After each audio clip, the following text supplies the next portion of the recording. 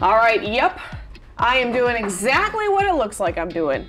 Losing the dress shoes, and I am putting on my sneakers. We are gearing up for the inaugural Sneaker Gala, and it is all to benefit young men and women on Delmarva. Young men and women who don't have a home, a place to lay down at night.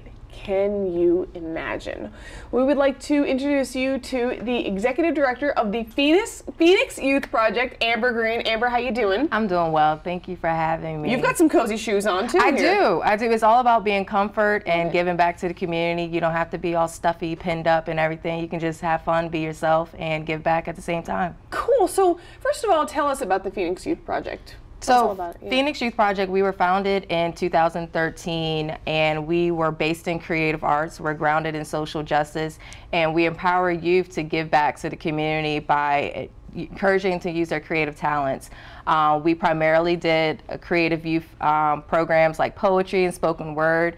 And just before the pandemic, we actually started providing direct services to homeless youth. And we've been uncovering a lot of issues in our community facing homeless youth. And so we dug deep in our creative bag and we said, you know what, let's do a sneaker gala and let's um, raise money so we can um, help bring solutions to our area focusing on homeless youth. Yeah. So this this event is all about that, the homeless youth, right? It's all about homeless youth. It's um, mainly focusing on finding creative solutions. Uh, fun fact, there's absolutely no youth shelter on the lower shore. So youth under the age of 18, they have nowhere to go. We're looking to find creative ways to help us find solutions, maybe create a host home program, find transitional housing, anything that we can help um, find a place for young people to lay their heads at night. yeah. And what circumstances do you think contribute to the problem of youth homelessness here? A lot of things, a lot of the social issues that you see a lot of organizations focusing on. Um, you have youth who are entering homelessness, they've just exited out of the foster care or aged out of foster care, or you have youth who've recently been detained or impacted by incarceration, or you have young people who are LGBT and they're not being accepted by their friends or their family, and so they have to adult on their own. Um, African American youth, as well as LGBT youth and pregnant teens, are overrepresented in our youth homeless community. And so we have to find solutions to a lot of these issues that we're facing. Yeah.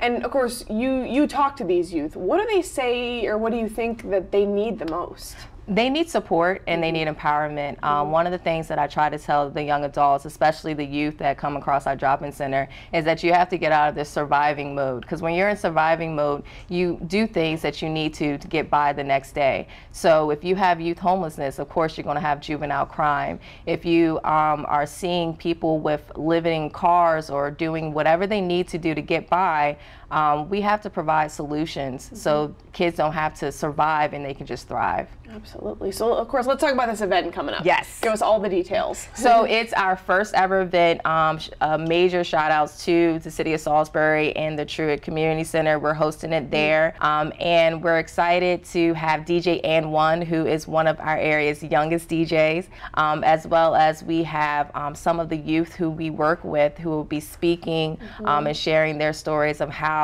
our organization has impacted their life, um, especially in getting housing stability. Um, you may not be able to find housing or be able to get, or you're just on a wait list, but you know, being able to create a plan or to have some um, positive engagement, that's one step closer to being stable in housing. Yeah, absolutely. So of course we see we see it right here, kicking it with Phoenix. Yes. And tell us about you know why what what's the sneaker deal all about? Traditionally, nonprofits, when you're thinking about that big annual fundraiser, you're thinking about a gala, dress up, it's like all hors d'oeuvres, meatballs. I like meatballs, but um, you know, all the stuffy things. But we wanted to open it up to young people, especially young adults, um, to give them an opportunity to get back in philanthropy and, you know, give back in the community. And so we said, let's target those young adults, let's target the young at heart, and let's do a gala, but let's wear sneakers.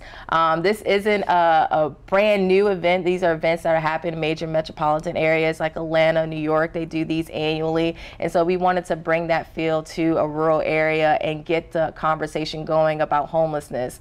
A lot of people think that homelessness just affects metropolitan areas, but homelessness is just as bad um, in rural areas. And like I said earlier, there's no youth shelter here. So we are behind um, the curveball right now. And so we have to get caught up and provide these resources. Dance. I love it. It's all for a good cause, and your feet won't hurt at the end of the night. Nope, you might dance out of them. Hey, I love that. all right, Amber Green with the Phoenix Youth Project. Thank you so much Thank for you. coming in today.